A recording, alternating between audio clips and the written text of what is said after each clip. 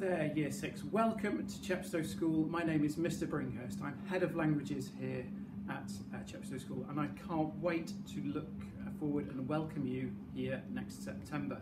I hope that this short video gives you a flavour of our department and what we have to offer.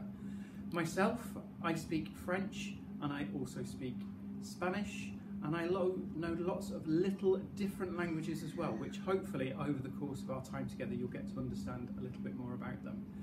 Throughout this video you will hear from my team, you will get to see who will be teaching you next year.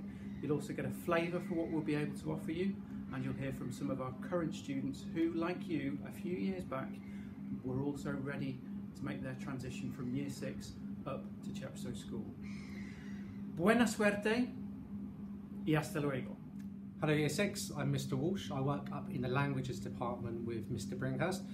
I myself teach Spanish um, and you'll notice that as soon as you walk into my room when you see all the flags from Spain and all the South American countries where, where Spanish is spoken. I'm really looking forward to welcoming you to the Language Department and teaching some of you next year.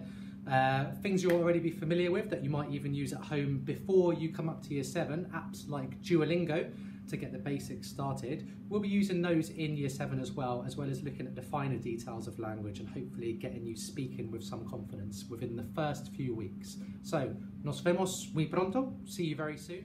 Hola, buenos dias, buongiorno, bonjour, uh, Bore da, year six. Lovely to meet you. My name is Miss Beach and I teach French and Spanish at Chepstow School.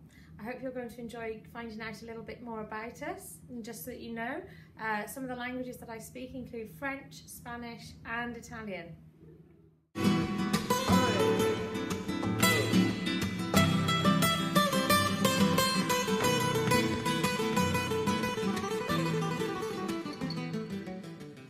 Hi, I'm Madeline and I'm in Year 11. I study French and Spanish at GCSE.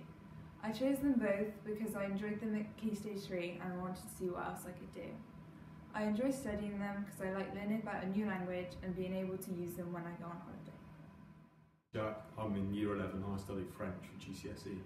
I chose French to help with my people and communication skills and I like using it on holiday.